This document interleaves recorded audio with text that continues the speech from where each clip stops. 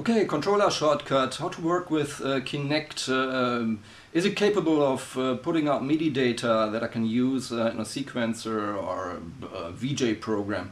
Yes it is. What do you need? You need a Kinect.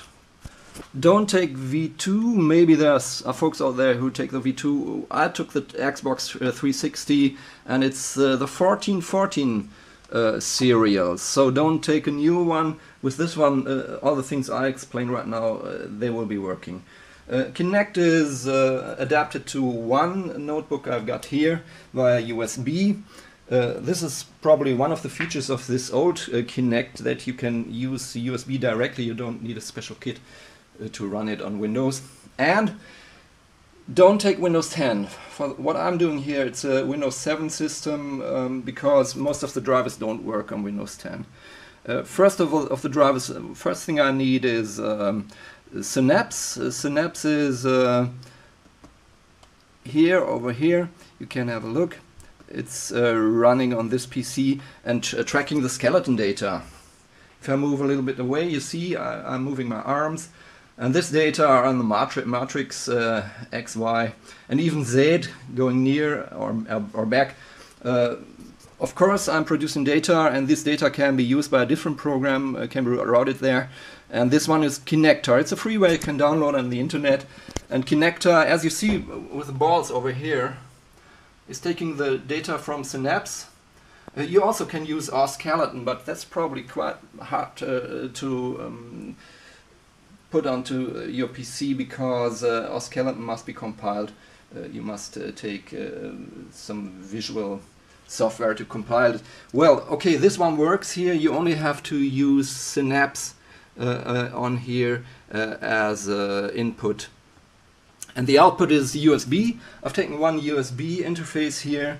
Uh, and this in interface goes into a different, another interface. They are both connected via MIDI, as you can see here.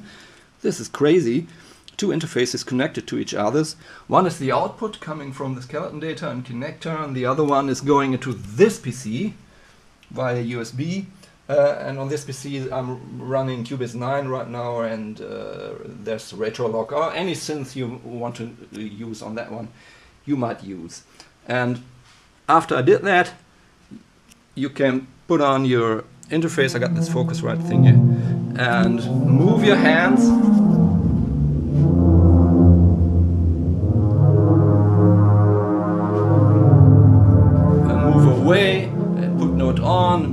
off.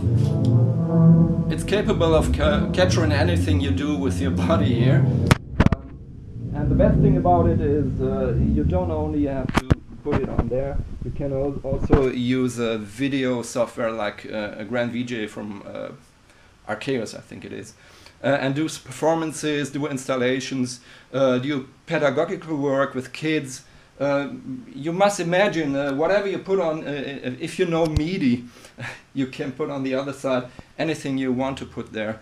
There guys, there's guys out there who, do a string quartet by that, and even controlling filters, cutoff resonance, whatever, by this here. So, one PC um, Win 7 with connector and Synapse, Xbox and the other one, I took the other one, it's not necessary, I can also uh, uh just uh, attach a synth, a hardware synth via MIDI, that's easier.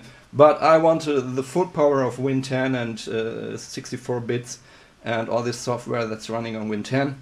This is not running Win 10, this is one running Win 10 and uh, they're connected and so that's how it works. Thanks.